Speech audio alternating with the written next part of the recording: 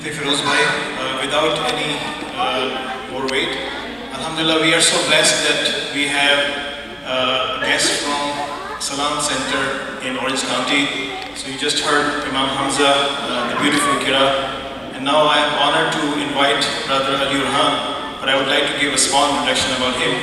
So you know that how, how blessed we are that we have so educated Imam uh, within us. So Brother Ali Orhan, he studied Quran in various madrasas in Turkey and he is, he is a Hafiz and he's attended Hafiz program and memorized the Holy Quran.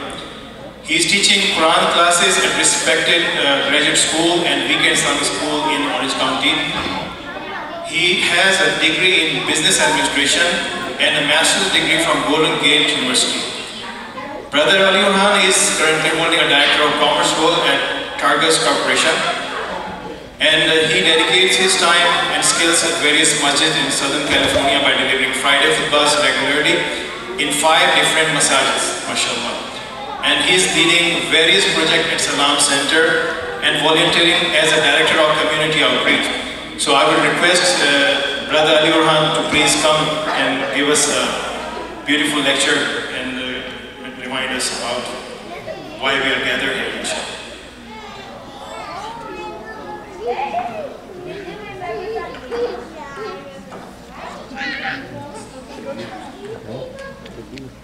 Desenho do Lenin.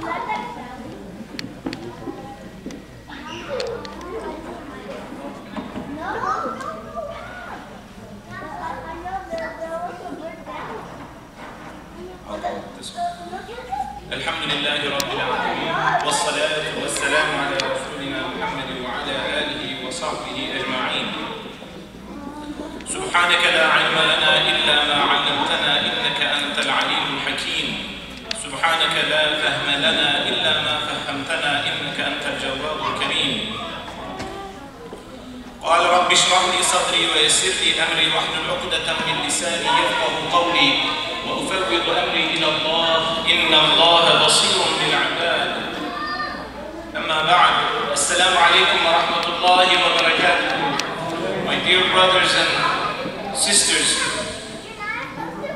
we thank Allah subhanahu wa ta'ala for allowing us to gather in a beautiful Rabi'ul Awwal evening. Brothers and sisters, Rabi'ul Awwal, meaning the first spring in English, symbolizes a spiritual renewal and growth as we reflect on the life of the Prophet ﷺ, the greatest man to ever walk on the face of this earth. Allah subhanahu wa ta'ala describes him in the Quran as we all know وَمَا أَرْسَلْنَاكَ إِلَّا رَحْمَةً لِلْعَالَمِينَ A mercy to the world. Ibn Kathir rahimahullah explains that Allah subhanahu wa ta'ala chooses special people, special times, and special places. He chose messengers from the angels and humans. And he chose mosques on the face of earth. He chose the month of Ramadan amongst the other months. And he chose Fridays amongst the days. And he chose Laylatul Qadr amongst the nights. Honoring what Allah subhanahu wa ta'ala has chosen shows wisdom and understanding. Brothers and sisters, this reminds us that Allah subhanahu wa ta'ala elevates certain individuals, certain moments, certain places. So the birth of the Prophet alayhi salatu during the month of Rabi'ul Awwal was part of Allah's divine plan. It's not a random act. And it marks the moment when the final messenger of Allah subhanahu wa ta'ala was brought as a mercy all humanity. Brothers and sisters, the birth of Prophet alayhi salatu wasalam fulfilled and answered the prayers of the prophets before him, like Ibrahim and Ismail alayhi salam, where we know from the Quran they prayed Allah subhanahu wa ta'ala, رَبَّنَا وَابْعَثْ فِيهِمْ رَسُولًا مِّنْهُمْ يَتْلُو عَلَيْهِمْ آيَاتِهِ وَيُزَكِّيهِمْ إِنَّكَ إنك أنت العزيز الحكيم صدق الله العظيم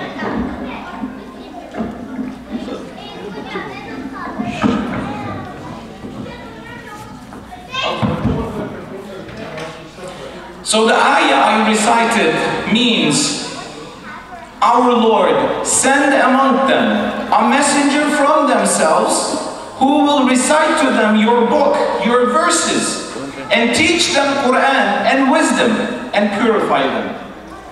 In addition to this, we know from the Quran, Jesus alayhi salam, Jesus alayhi salam also spoke of Prophet alayhi salatu wasalam's coming, where he said to Bani Israel, he said, I am giving you glad tidings of a messenger whose name shall be Ahmad. Min ba'dithmuhu Ahmad. So brothers and sisters, his arrival was a turning point in history, bringing people from darkness of Jahiliyyah to the lightness of Tawheed. So, if someone is not happy with the birth of Prophet alayhi then they are not really a Muslim. Brothers and sisters, I also want to talk to you about Hijrah. The Hijrah is one of the most significant events in the Islamic history, which took place also in the month of Rabi'ul Awal, marking the establishment of Muslim Ummah in the city of Medina and the start of the Islamic calendar. It wasn't just a physical journey for the Prophet ﷺ and the companions to travel from one city physically to the another one. Hijrah was a migration from opposition, oppression to justice. It was a migration from division to unity. It was a migration from conflicts and fighting to peace. It was a migration from ignorance to knowledge. And it was a migration from fear to hope. Brothers and sisters, the Prophet ﷺ said in a hadith, وَالْمُهَاجِرُ مَنْ هَجَرَ مَا نَهَى اللَّهُ عَنْهُ And the muhajir, the emigrant, is the one who abandons and gives up all what Allah subhanahu wa ta'ala forbids. Brothers and sisters, we know we don't have Prophet alayhi salatu wasalam amongst us, so we are following his sunnah and his seerah. So the, te- the hijrah teaches us a profound lesson about unity, about perseverance, and the importance of worship. Prophet wasalam, after the hijrah, in the city of Quba, he told the companions, he said four things. Greet each other with peace and smile. And second thing he said, feed the hungry. And the fourth, the third thing he said, honor your family ties. And the fourth thing he said, pray when people are sleeping and you will enter Jannah in peace, inshallah. These are simple actions which build the foundation of strong communities. Brothers and sisters, there is a, a, third and important event which also took place in the month of Rabiul Awwal. While Rabiul Awwal is a time to celebrate the Prophet's birth, it also marks the sad occasion of Prophet Wasallam's passing. His death was heartbreaking and it was a devastating moment for his companions and the entire Muslim Ummah. In this time of grief, as we all know, Abu Bakr radiallahu anh reminded everyone, he said, if it was Muhammad whom you worship, know that he passed away. But if it was Allah subhanahu wa ta'ala whom you worship, know that Allah subhanahu wa ta'ala does not die. He is still there. Reminding us the passing of the Prophet alayhi salatu and he was a human being like one of us. And he also reminded us the temporary nature of this life and the eternal nature of akhirah. We are here in this world temporarily. It is a station, not a destination. Our destination is akhirah and all of us are going to meet our Lord. So through his death, it brought sadness, but his legacy lives on. Like I said, we don't have the Prophet ﷺ today living amongst us. We are not one of the lucky ones. However, his legacy lives on through two things Quran and Sunnah.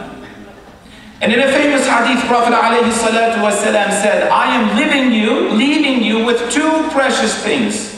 As long as you adhere to them, you stick to them, you hold on very tightly to them, you will never go astray. And they are the Quran and the Sunnah of Rasulullah. Prophet والسلام, brothers and sisters, said something which gives us a lot of hope and it raises our hopes. He said in a very famous hadith, he said, Al-mar'u ma'aman ahabba. A person is with the one whom he loves. So if you truly love someone, you will want to learn about them. If you truly love someone, you will want to know more about them. So we must get to know the Prophet والسلام, by studying his sunnah and his seerah and complement all of those, of course, with the book of Allah subhanahu wa ta'ala. To indicate this, Allah subhanahu wa ta'ala tells us in the Quran a very important ayah. قل إن كنتم تحبون الله فاتبعوني يحببكم الله ويغفر لكم ذنوبكم والله غفور رحيم O Prophet say, Allah subhanahu wa ta'ala telling us through the Prophet alayhi salatu wasalam. O Prophet, say, if you sincerely love Allah, then follow me. Follow the Rasul. Allah will love you and forgive your sins. He is the most merciful and most forgiving. So if you look at this ayah, it shows us the path to success lies in loving and obeying and following the Prophet ﷺ and his sunnah. If you look at this from the opposite side, if you don't follow the example of the Prophet ﷺ, it means you don't really love Allah subhanahu wa ta'ala. Brothers and sisters, loving the Prophet alayhi salatu wasalam is necessary. It is an important part of the faith. Prophet alayhi salatu wasalam said in a hadith, none of you truly believes until I am more beloved to him than his father, his mother, and all of the mankind. So this shows that love for the Prophet alayhi salatu wasalam is key to completing our faith. If we don't really love him, our faith becomes weak. It's not really complete. So he also tells us one of the best ways to love him. Of course, there are three things. Reading and studying the Quran. Reading, studying, understanding, and contemplating the Sunnah. Studying and understanding the Seerah. But Prophet ﷺ hands us a key so we can take the key, open the doors one by one, and the key will inshallah take us to Jannah. Inshallah. In the hadith, Prophet ﷺ told us, Whoever revives my sunnah has loved me. And whoever loves me will be with me in paradise. This is the key. Reviving the sunnah of Rasulullah is a direct path to success and to paradise. So let's talk about this a little bit. When asked about the sunnah of Prophet alayhi salatu people often mention how he used to sit, how he used to eat, how he used to drink, how he used to dress. These are all great sunnahs. And we would sacrifice anything and everything for one of his sunnahs. However, However, these are all outward practices. They are all important, but sunnah goes far beyond than just these actions. I want to remind you and myself Brotherhood and sisterhood is a sunnah. Selflessness, generosity, putting your brother before yourself is a sunnah. Love, forgiveness, and tolerance are sunnah. Expanding your heart to everyone and putting a smile to someone's face is a sunnah. Being humble and easygoing is a sunnah. Maintaining good relationships with your families and your neighbors are sunnah. يأمرون بالمعروف وينهون عن المنكر. They enjoin good and they forbid evil. Enjoining good and forbidding evil are very important sunnahs. Even after many years after his passing, Prophet ﷺ's legacy still continues to spread mercy, compassion, and justice while preventing harm and promoting goodness around the world, brothers and sisters. I want to tell you about a trending topic where some people call our Prophet ﷺ a war prophet or a warlord, and in reaction from the Muslim side, our brothers and sisters react and say, no, he was a love prophet. Brothers and sisters, these labels miss the balance in his life. Prophet ﷺ upheld peace and mercy, yet he defended his community and the Muslims with justice whenever it was needed. But he was not offensive. His actions, like the Treaty of Hudaybiyah and the Constitution of Medina, shows that he was far from being a warlord or a war prophet. He established one of the earliest systems of justice and equality over, pay attention, over six centuries before Magna Carta. Magna Carta was a system that was established in England in the, in the year of 1215 that it says the kings are equal in front of the law just like anyone else. But Prophet ﷺ did this six centuries earlier. And now the same or the similar people are calling him a warlord. Brothers and sisters, especially after the conquest of Mecca, instead of seeking a revenge, Prophet ﷺ had announced a public pardoning, a general amnesty. He did not seek revenge from his lifelong enemies. His goal was not a revenge. His goal was to establish peace.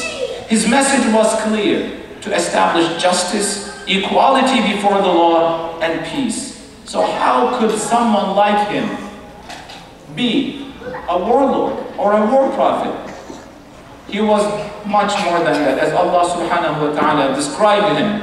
وَمَا أَرْسَلْنَاكَ إِلَّا رَحْمَةً لِلْعَالَمِينَ A mercy to the worlds. Brothers and sisters, caring for the orphans and the widows and the needy is a significant part of Sunnah. Allah subhanahu wa ta'ala chose the greatest man who ever walked in this earth to be born as an orphan. Do you think that was a random act? His life teaches us that the importance of caring for the vulnerable, especially the orphans and the widows, are very important. And he says famously, we all know it, the hadith that goes, the one who cares for an orphan and I will be like this in Jannah, holding his two fingers like that. Brothers and sisters, we talked about reviving Sunnah. But reviving Sunnah isn't just about knowing these things. It's much more than that. It's about living them. It's about understanding them. It's about teaching them to our kids and our youth. Again, he said, whoever revives my sunnah has loved me. Whoever loves me will be with me in the paradise. To truly love him, we must actively live and understand his teachings. Brothers and sisters, I want to tell you about something. Please pay attention. Allah subhanahu wa ta'ala does nothing without a plan. He tells us in the Quran, Wallahu khayrul makirin. Indeed, Allah is the best planner. And he has a knowledge of everything. Again, we know it from the Quran. وَمَا تَسْقُطُ مِنْ وَرَقَةٍ إِلَّا يَعْلَمُهَا Not a leaf from a tree falls down without his knowledge. Everything in creation has a purpose, so we must also plan carefully when we are reviving the sunnah of Prophet alayhi salatu wasalam. What do I mean? I mean we need to come together like this. We need to come together to brainstorm, come up with projects and plans, and talk about how we can revive the sunnah of Prophet alayhi salatu wasalam, study them and understand them, but more importantly, how we can teach them to our kids in a way that we are gamifying and entertaining them, yet we are teaching them about the Prophet. Brothers and sisters, this reminds us the first commandment. What was the first commandment? Iqra, read. When Allah subhanahu wa ta'ala said Iqra, He didn't mean Iqra to the men. Or He didn't say Iqra to the women.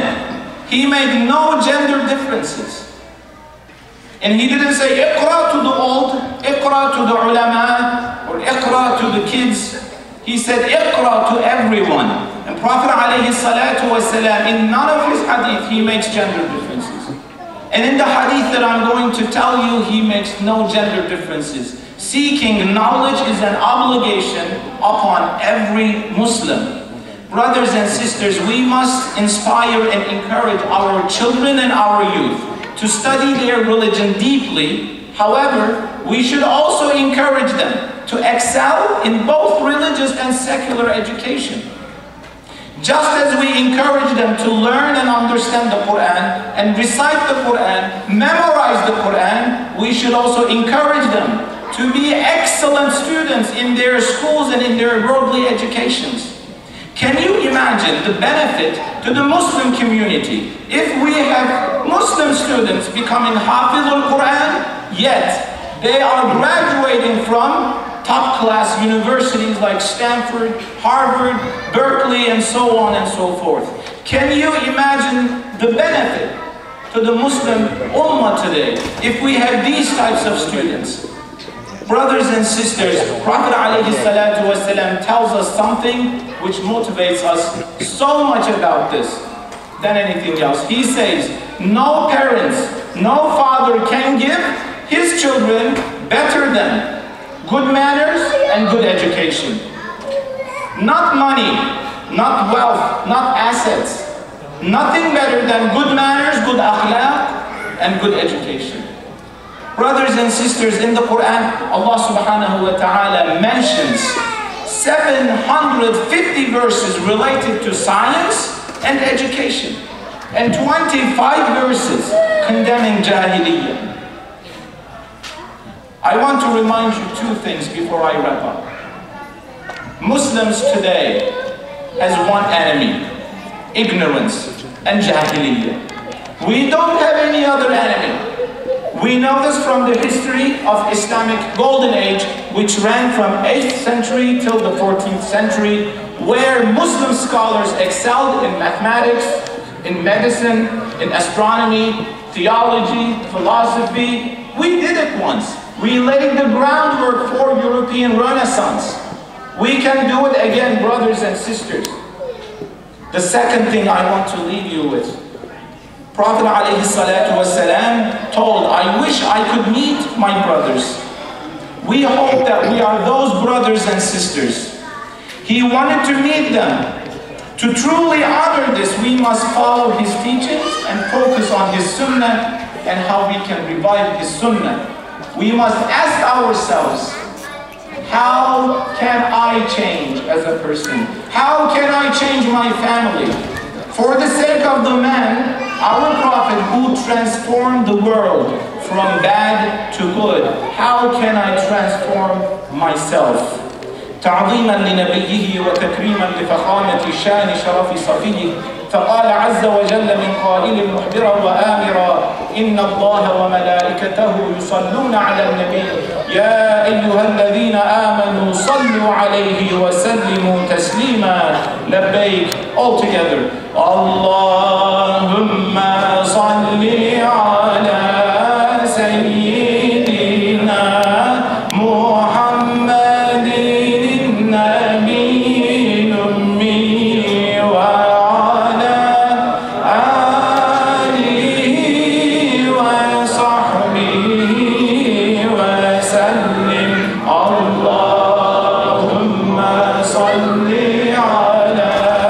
Savior.